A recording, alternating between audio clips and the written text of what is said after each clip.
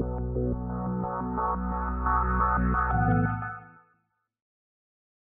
Arrancamos hoy la mañana tempranito con esta primera info que nos llegaba, corte de ruta a la altura del Cristo, donde generalmente este, se llevan adelante este tipo de medidas por el sector que, así lo decida. En este caso estamos hablando de trabajadores de la UOCRA, alrededor de 30 trabajadores que están sin respuestas. Sin respuestas de ningún tipo, ni, ni, de, ni del gremio que los nuclea, ni de provincia, ni siquiera del municipio. Entonces, eh, ya cansados porque necesitan una necesitan trabajar que es lo que dicen eh, trabajo genuino no quieren saber nada con, eh, este tipo de, ayudas sociales sino que quieren trabajo genuino entonces bueno al no tener respuestas decidieron cortar la ruta. Bueno una de las cosas que por ahí planteaba uno de los integrantes de este grupo que estaba apostados en la ruta, eh, la, ausencia también del referente local, que todos conocemos a Ángel Bascuñán eh, como referente de la UOCRA, pero eh, incluso ellos denunciaron hoy en, distintos medios radiales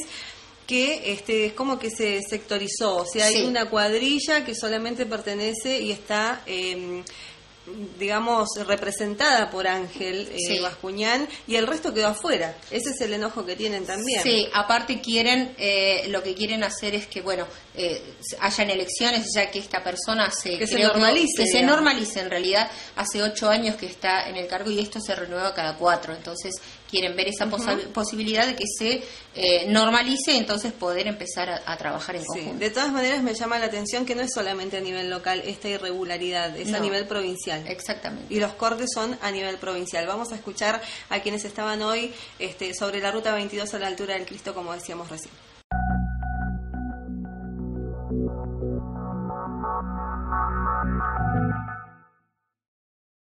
Nos encontramos en, apostados aquí en, la ruta a la altura del Cristo.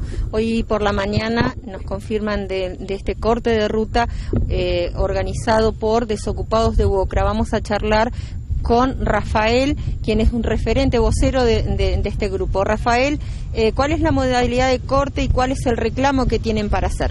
El reclamo es, eh, la normalización del gremio Buocra porque no tenemos un referente que nos represente. Supuestamente el referente es Ángel Bascuñán, pero el hombre no da la cara. Nosotros estamos cansados de ir a pedir trabajo a las horas locales y no tenemos ninguna respuesta favorable. La situación que estamos pasando con nuestra familia nos llevó a esto. No podemos llevar el sostén a nuestras casas, a nuestra familia, a nuestros hijos. Entonces nos obliga a venir a, plantear, a quedarnos acá en la ruta hasta tener una respuesta favorable. Rafael, este este corte es a nivel local o se está trabajando este en conjunto a nivel, provincial, A nivel provincial, está cortado acá, Cutralcó, Plotier, Neuquén, Centenario, a nivel provincial. Bien, la modalidad de corte eh, es total. Es total, pasa solamente gente con, con certificados médicos, con problemas de salud, la ambulancia, después nadie más y hasta tanto no tengan una respuesta van a seguir acá. una respuesta favorable no nos vamos a ir de acá. Queremos que el intendente nos dé una respuesta, que, que, dé la cara el supuesto referente de Bocra, Ángel Bascuñán, que no nos sentimos identificados por él. Somos más de 30 obreros que estamos, no vinieron todos para no exponerlo. Eh, por eso vinimos nosotros en representación de, nuestra gente, ¿no es cierto? Bien. Eh, el reclamo es trabajo. Trabajo, solamente trabajo. Bien. Nosotros no queremos planes sociales, queremos trabajo. ¿Están todos en la misma situación? ¿Ninguno tiene trabajo? Todo el obrero está en la misma situación. No tenemos ninguna ayuda de ningún tipo de nada. ¿No están cobrando subsidios? No estamos cobrando subsidios, planes sociales, nada. No queremos nada de eso tampoco. Solamente queremos un puesto de trabajo.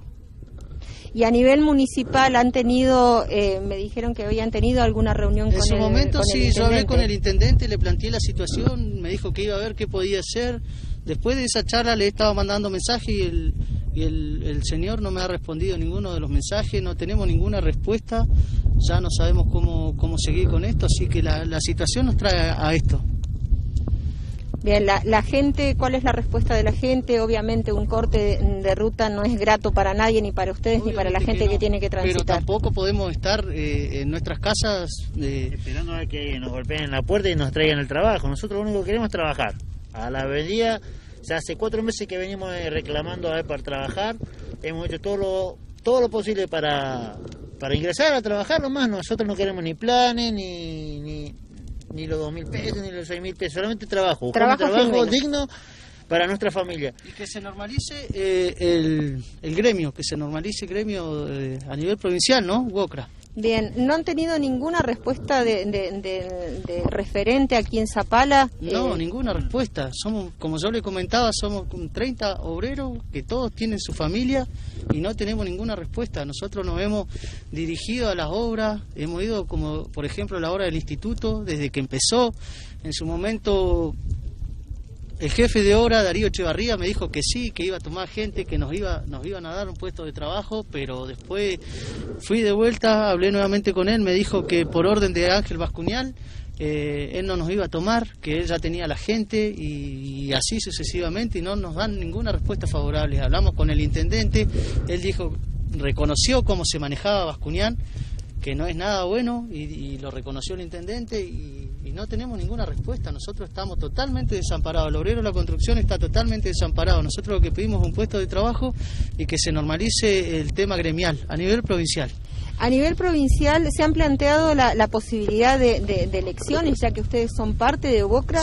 No, no, no, no hemos sido escuchados por el gobernador, por nadie.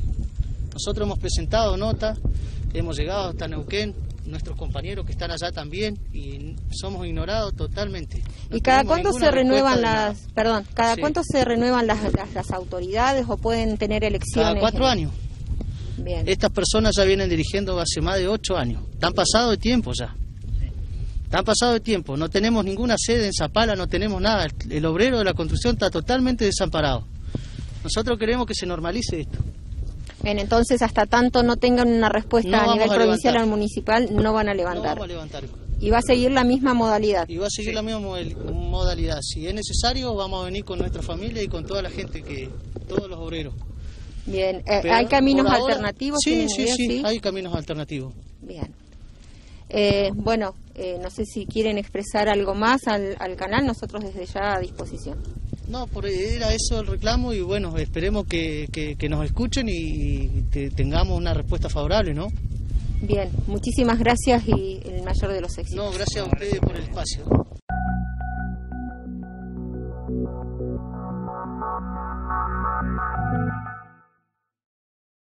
De esta manera escuchábamos a Rafael Valdebenito, uno de los voceros del grupo que estaba sobre la ruta. Eh, recordemos y le recordamos a la audiencia que esta nota fue hecha en horas de la mañana. ¿no? Por ahí, este, a esta hora de la tarde quizás hay cosas que van cambiando. La modalidad hoy era corte total. eh, por ahí pueden ir negociando, quizás reciben alguna respuesta, alguna reunión y esto puede variar. Este, pero de todas maneras, eh, lo que manifestaron hoy fue que eh, por el enojo que tienen Sí. realmente y la, y la necesidad de trabajo, el corte iba a ser total y no iban a ceder. No, eh, si era preciso, dijeron que, bueno, en la nota habrán escuchado que si era preciso se iban a venir con las familias y todo a, a estar ahí.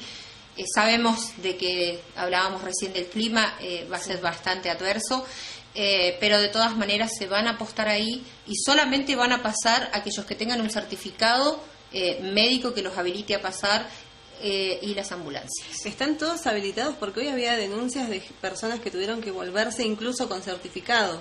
No, ellos, eh, bueno, ellos dijeron que no, que ellos estaban dejando pasar a per- eh, a- solamente a las personas que tenían el certificado o las ambulancias. Bueno, el ratito que pudimos estar ahí, eh, yo vi alrededor de cinco autos particulares que llegaron y los cinco pasaron. Sí, Incluso este, alguna, algunos transportes de medicina eh, y que pudieron pasar sin problemas. Ni siquiera mostraron el certificado. No, Dijeron no, que no. iban con derivaciones y pasaron. Así que, este, de todas maneras, los caminos, los caminos alternativos están, Están abiertos, sí. Exactamente. Eh, nos vamos a ir a una segunda y última pausa. Al regreso te contamos más novedades, algunos cambios que se vienen aquí en Sí. nuestra ciudad, ¿no? Eh, ya regresamos.